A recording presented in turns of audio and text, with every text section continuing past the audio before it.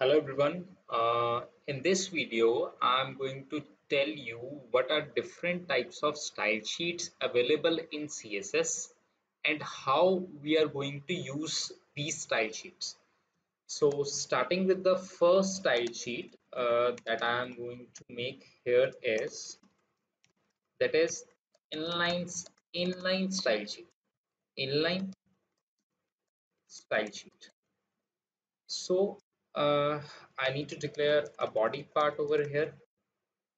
So what is a div uh, that I'm going to tell you uh, inline.html and if I am going to make a div over here uh, so one div has taken one full line and if I'm going to check uh, the another division so another division has taken another full line so uh, if I'm going to add a style element in my division and if I'm going to specify its width property and 100 pixel as its value so uh, style is an element width is a property and 100 pixel is its value. If I want to separate property and value I need to put here as colon and if I need to separate two properties I need to put here as semicolon. So I have given the division style uh, its width as 100 pixel height as 100 pixel. And if I want to say here as background color red so uh, if I'm going to refresh this it has a width of 100 pixel height of 100 pixel background color as red and uh, the color as white. So this color white this color white means uh, the text should be of white color. So this is basically the uh, the properties uh, this is basically the inline style sheet that is being written inline style that is being written along with your tag. You can attach it with any of your tag. Either it is your division tag or your h1 tag or your h2 tag. Whatever tag you can you can use any style. For example if I am going to say here as heading 1 so there is a heading 1 I can put a style over there. So width 100 pixel height 100 pixel. Let's say background color as pink and color as white. So here it's it's reduced with the same thing. So it has a width of 200 pixel and the height of 100 pixel the background color of pink and the color of white so this is basically the inline style sheet uh, in your css so moving to the next part i'm making a new file and i need to save it as internal.html and in this file I'm going to tell you what is basically the internal style sheet and how you are going to use this. So for that I need to put a tag of style in my head tag. So in the internal style sheet you need to put a style tag into your head tag. And uh, we have two things with us. One is id the id will always be starting with your hash keyword. So in this also i'm going to declare uh, some css properties as well as its values. So width is 100 pixel height is 100 pixel background color as red. And i'm going to make an another id in which i'm going to change its color as white. So moving to the next part i'm going to make a class uh, the name you can uh, you can take any name that can always that have to start with a character uh, this is a proper uh, you can say the way of creating a class. This is not a proper way. You you don't want to start a class name with a number. So you need to start it from a character so here I can say here as width 100 pixel height 100 pixel background color as red and in the class 2 we can say here as color white. So here if I'm going to use here the style then div id equals to id1 so div id equals to I'm going to tell you the difference between id and classes. So first of all div id equals to id1 means uh, we can say here as demo for the id and div id equals to id1 will put your all the properties of this id its width height and background color and will apply all these property to this division. So if i'm going to refresh this uh, it has created a division with width as 100 pixel and height as 100 pixel and the background color as red and if I'm going to implement a class then I have to say here as div class equals to class 1 and here I can say demo for the class. And if I'm going to refresh this then this is the class. I can just change its color in order to have some verification. So div class equals to class 1 which have uh, width as 100 height as 100 and background color as pink so that that three properties are applied to your class. So next comes your uh, the difference between your id and classes. So the major difference between id and classes is that if you want to put your second id in your div tag then it can't be implemented because id uh, you need to put only one id on one tag on a single tag. Means you can put only you can attach only one id to your any element.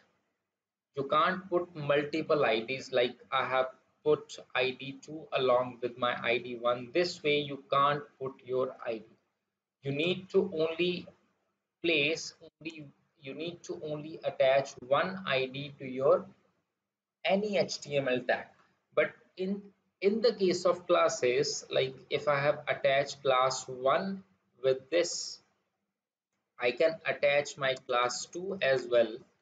Uh, so class 2 have my text color as white and if i'm going to refresh this here I have removed my second ID so only ID 1 is being attached but here I have put my second class class 2 that have a color of white and my text colors changes to the white. So this is the major difference between your ID and classes that in ID you can attach only a single ID at a time to your HTML tag. But in the case of classes you can attach multiple classes to your any html tag and whatever the uh, you can say properties you have defined in your classes will be attached to that particular division. So this is basically the difference between your IDN classes and the most benefit of this using IDN classes is that you can reuse these classes without writing an additional extra code. So if I'm going to do uh, like implement the same class that I have declared earlier, so I just need to recall it's my another division tag so it can be reused. So this is basically the difference between your uh, inline style sheet. In the inline style sheet, you need to write over here uh, to every tag. So it's a lengthier process. It's a time consuming process. But in the case of internal style sheet, you have created a style tag and on and in that tag you can place your IDN classes and you can just call your IDN classes in your respective divisions in which you want to implement. So this is all about internal style sheet. So moving to the next part, external style sheet. So externals in the external style sheet, I need to uh, create a new file and I need to play paste all this IDN classes, only IDN classes over here, and I need to save it as any name, but you have to put your extension as .css. What does .css means? .css means cascade style sheet. So if I'm going to save this, it has saved as style.css and in the external style sheet, I need to attach this file along with this. So in order to attach this file, I need to write as link relation style sheet. Define its type as text slash CSS and href equals to style.css. So uh, link relation, it should be a style sheet. Type is a text CSS means the style sheet which I am going to link with this file, uh, this external.html file will always be having ID and classes in it, not any other text. And href is a hyper reference that is going to uh, like attach the particular file with this external.html. So style.css is the name of the style sheet and this I have given in my hyper reference. So if I'm going to like run this, it has displayed me uh, the external style sheet. So this file external.html is being attached with your style.css file.